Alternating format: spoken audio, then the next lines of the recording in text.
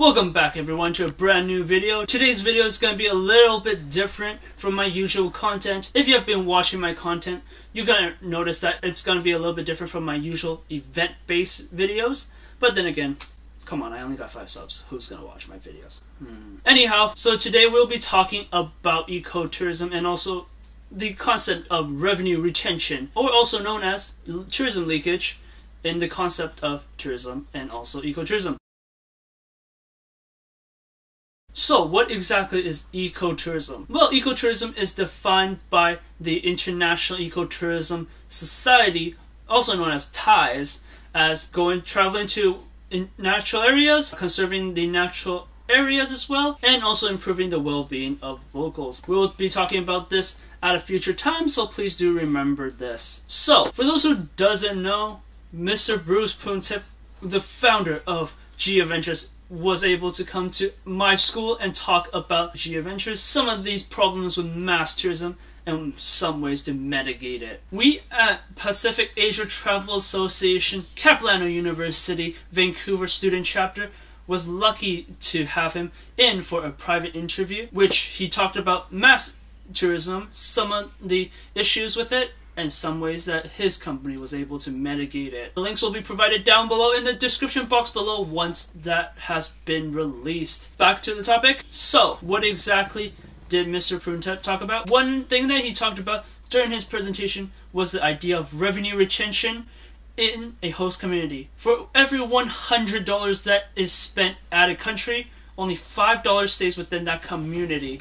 So obviously going off USD. This is also referenced in a report by the United Nations Environmental Program. So you might be wondering, how is this an issue? So how this is an issue is that because you're basically going to someone else's area, someone else's environment, destroying them, taking their resources, and they're getting nothing from it. They're not benefiting at all. In addition, it was found that tourists actually use more resources while traveling than while they are actually at home or staying within their home country. You might be using five times more water when you're at another place. So this is referenced in Martha Honey's book, which is called Ecotourism and Sustainable Development. So let's say we have a random person just off the street come into your house and took everything out of your fridge. That would include the 20 avocados, because millennials. But anyhow, they have taken everything from your fridge and you're left with nothing but a $5. So let's imagine the fridge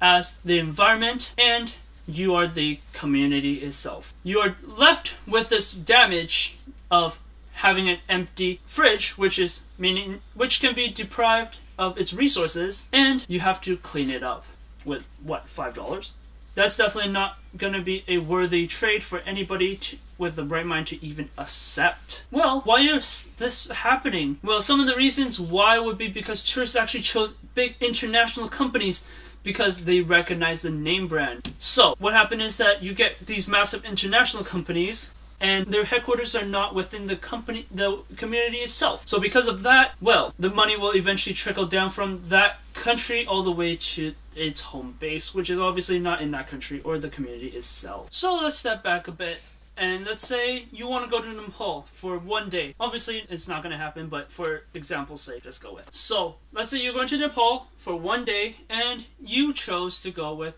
a local tourism company, a travel agency that's just right around the corner. So they happen to have one day trips with to Nepal. Coincidence, obviously. But you purchased that tour with them. So let's just say you purchase the package for a hundred dollars. So you have officially deprived the community by a hundred dollars. So continuing on, you have landed and it's noon, so you want to get a little bit of food. You decided to choose McDonald's just for example's sake. So McDonald's, let's say they don't employ locals and you spend $7 over there. Well, you just deprive the entire community by another $7. But, well, since this is in the 2000s, then there will be more benefits for the local community, but for the time's sake, let's just say it is in the 2000s and there is no benefits for the community from this interaction. Moving on, we are now getting towards night and you're getting tired.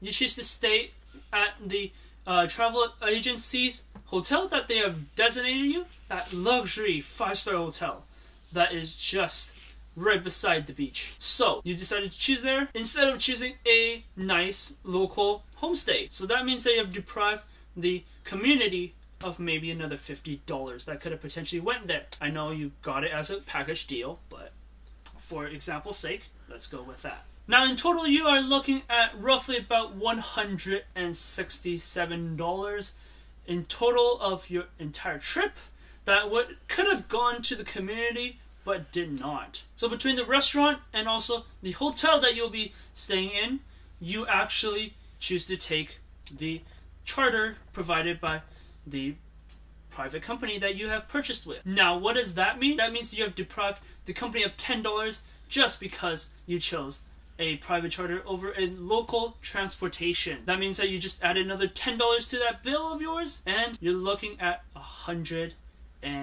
$175. Now, if you look at it, $175, probably nothing in your uh, eyes. However, to these communities, it is huge. Every dollar counts. Now, if you times that by how many people actually travels, then you're getting at an absurd amount of money. For example, Nepal actually hit 1.1 million travelers in 2018. First time they ever got over 1 million travelers. So, if you take that 1.1 million people times that by 175, you're getting a figure of 192.5 million dollars that could have gone into the economy. That is huge. In addition, you are actually just staying for one night. And all these numbers are just fictional, so obviously it's going to be, become greater. It might even go up to half a billion dollars. So basically, the amount of money that would have stayed within the host country would have been a lot more than that $192 million.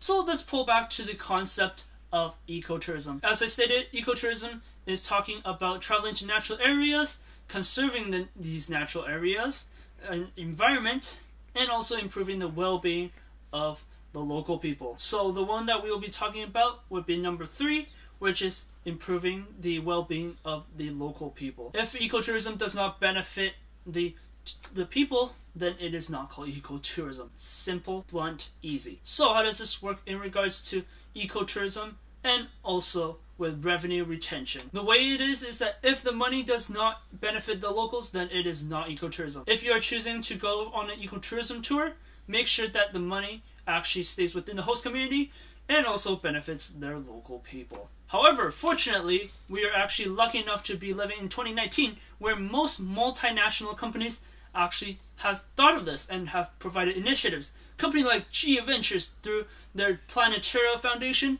and also with the travel group who owns Contiki and also the Tread Foundation. These companies are actually able to provide some level of benefits towards the locals. Even McDonald's actually provide benefits to the locals by employing locals and also sourcing their food locally. Did you know that McDonald's Canada actually source their potatoes from Alberta and then distribute it all over the country? Well, they do. That is actually one thing that McDonald's do that is actually beneficial. So going back, G Adventures actually focus on having small travel sizes. So that means that they have travel sizes of roughly 10, 15, 20, sometimes even 30, 30 being maximum people going on a trip. So that actually minimizes the amount of trash and also the noise that is created by these tourists. They also use local transportation and also local